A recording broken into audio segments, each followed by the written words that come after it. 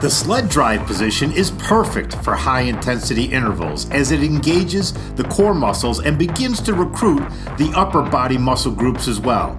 In this position, the user is going to raise their heart rate up quicker than the stand up position, and the user will not only feel core muscle engagement, but their quads will really feel the intensity.